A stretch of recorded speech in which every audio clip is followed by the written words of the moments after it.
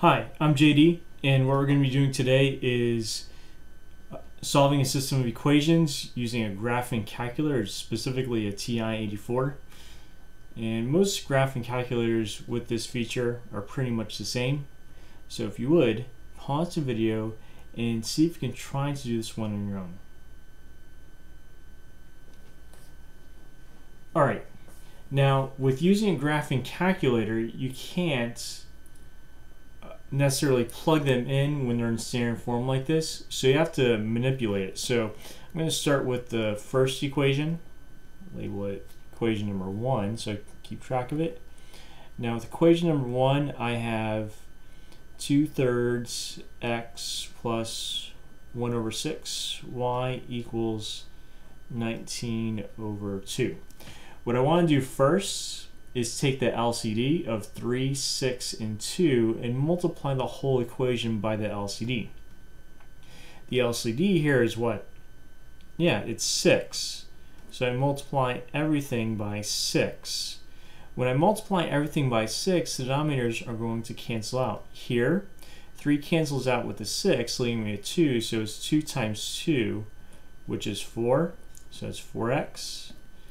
6 times well, 6 goes in 6 once, so it's 1 times 1, which is just y, equals, and then I have 2 times, well, 2 goes into once, and then 2 goes into 6 three times, so now I have 3 times 19. 19 times 3, using my calculator, is 57. So then what I do next that's just to get rid of the denominators so it's easier to work with. Now you just want to solve for y. So here I just subtract both sides by 4x. So that gives me y equals negative 4x plus 57 for my first equation. For my second equation, rewrite it here. So I have 1 third x minus 2 ninths y equals 2. Take the LCD of 3 and 9, so that would be 9.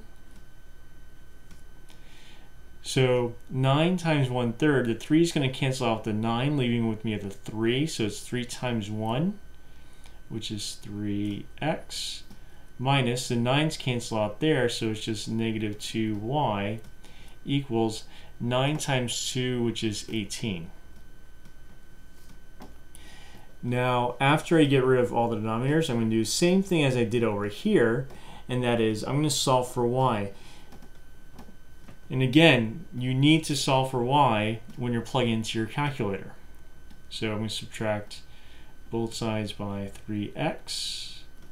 So that gives me negative 2y equals negative 3x plus 18.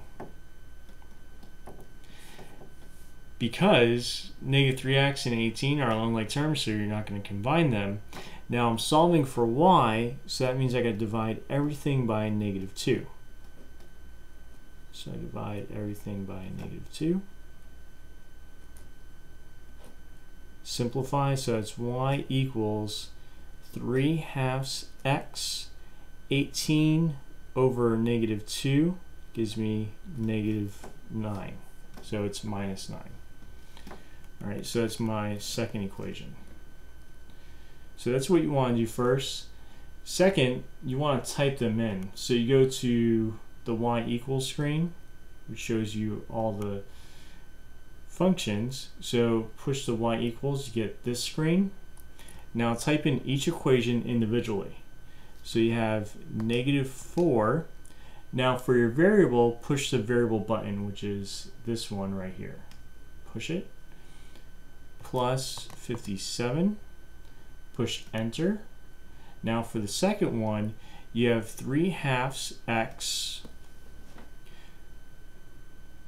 So I'm going to put 3 halves in parentheses, 3 halves, and then x minus 9. Yeah, you want to make sure that you push the minus sign here, not the negative sign. Right, so then push graph.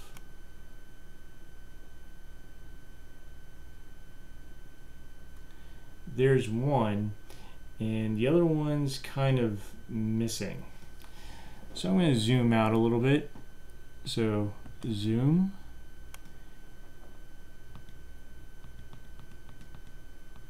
And I'm going to do zoom fit.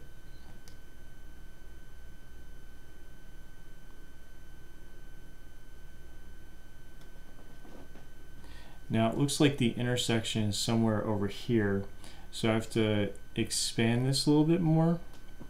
So I'm going to go window and I'm going to increase my Y max, or sorry, my X. So I'm going to increase it to 20.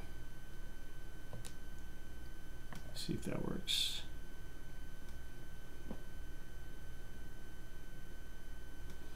Yeah, you want to keep on going until you see the intersection on the screen.